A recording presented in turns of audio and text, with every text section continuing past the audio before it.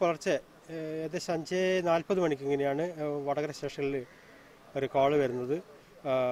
വടകര ആശ ഹോസ്പിറ്റലിന്റെ മുന്നിലായിട്ട് ഒരു tanker lorry ഇടിച്ച് മറിഞ്ഞിരിക്കുകയാണെന്നും അതിൽ നിന്ന് പെട്രോൾ ഒഴുകിക്കൊണ്ടിരിക്കുകയെന്ന് പറഞ്ഞു. ഞങ്ങൾ ഉടനെ മൂന്ന് യൂണിറ്റ് സ്റ്റേഷനിലുള്ള മൂന്ന് യൂണിറ്റ് ഉടൻ തന്നെ ഇവിടത്തേക്ക് പുറപ്പെടുകയും ഞങ്ങൾ അതിന്റെ അടുത്തെത്തിയപ്പോൾ ആണ് ഇത് വളരെ ഗുരുതരമായ രീതിയിൽ പൊട്ടൽ ബാധിച്ചിട്ടുണ്ടെന്നും പെട്രോൾ വളരെ ശക്തമായിട്ട് പുറത്ത് ഒഴുകിക്കൊണ്ടിരിക്കുകയായിരുന്നു. ഉടനെ ഞങ്ങൾ ഫോം ഉപയോഗിച്ചിട്ട് ഈ പെട്രോ പെട്രോൾ അടക്കാനുള്ള ശ്രമം നടത്തിയെങ്കിലും അത് ഒരു വിധത്തിൽ നടക്കാത്ത വിധത്തിൽ വലിയ പൊട്ടലായിരുന്നു ക്യാബിൻ ഇതിനുണ്ടായിരുന്നത്. ഉടനെ ഞങ്ങൾ വെള്ളം ഉപയോഗിച്ചും ഫോം ഉപയോഗിച്ചും പരമാവധി നിയന്ത്രിക്കാൻ ശ്രമിച്ചു.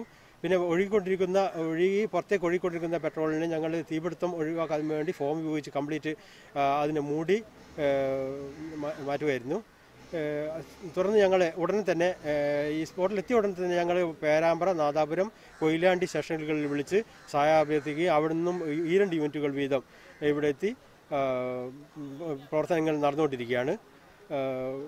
പിന്നെ ഞങ്ങൾ ക്രെയിന് കൊണ്ടുവരാൻ വേണ്ടി പിന്നെ ഏർപ്പാട് ചെയ്തിട്ടുണ്ട്. വണ്ടി ഇപ്പം റോഡിനെ പൂർണമായും അടച്ചുകൊണ്ടാണ് ഇപ്പം വീണ് കിടക്കുന്നത്.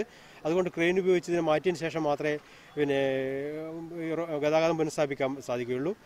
കൂടാതെ ക്രെയിൻ ഉപയോഗിച്ച് ഇതിൽ അവശേഷിക്കുന്ന പെട്രോളുണ്ട്. അപ്പം ക്രെയിൻ ഉപയോഗിച്ച് നമ്മൾ ഉയർത്തുന്ന അവസരത്തിൽ ചിലപ്പം എന്തൊക്കെ തീ സാധ്യത ഉണ്ടെങ്കിൽ അതിനനുസരിച്ചുള്ള സംവിധാനങ്ങൾ ഞങ്ങൾ ഇത് ഇവിടെ ചെയ്തതിന് ശേഷം മാത്രമേ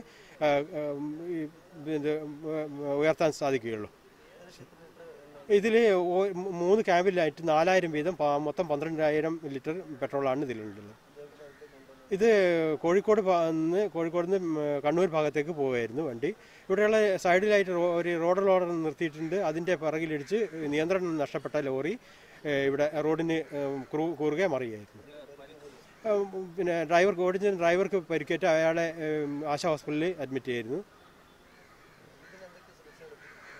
ഇതുവരെ ഇതിന് ശ്രദ്ധിക്കേണ്ട കാര്യം വെച്ചാൽ പെട്രോൾ മറ്റു ഡീസൽ മണ്ണെണ്ണ പോലെയല്ല. പെട്രോൾ എന്ന് വെച്ചാൽ ചെറിയ സ്പാർക്ക് ഉണ്ടായാൽ പോലും തീ കത്തുന്ന ഒരു വളരെ അപകടകാരിയായ ഏകദേശം ഗ്യാസിനെ പോലത്തെ എൽ പി ജിയെ പോലെ തന്നെ അപകടകാരിയായ ഒരു ദ്രാവകമാണ്. കാര്യങ്ങൾ ഞങ്ങൾ നോക്കുമ്പോൾ പക്ഷേ ഡ്രൈവർ പിന്നെ പരിക്കേറ്റത് കൊണ്ട് അയാൾക്കൊന്നും ചെയ്യാൻ പറ്റാത്ത അവസ്ഥയായിരുന്നു. അതുകൊണ്ടാണ് ഞങ്ങൾ പെട്ടെന്ന് തന്നെ അതിനുള്ള സംവിധാനങ്ങൾ ചെയ്തത്.